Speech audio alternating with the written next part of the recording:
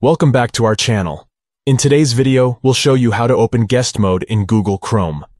Guest mode is a great feature that allows you to browse the internet without leaving any trace of your activity.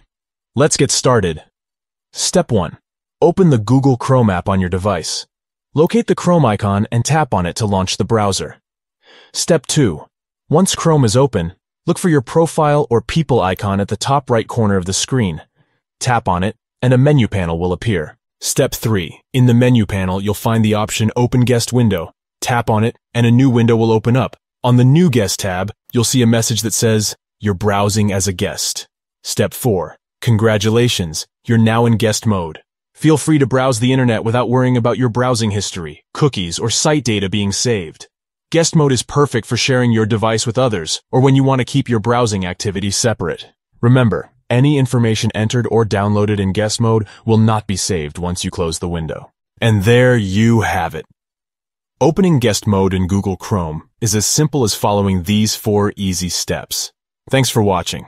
If you found this tutorial helpful, don't forget to give this video a thumbs up and subscribe to our channel for more useful tips and tricks.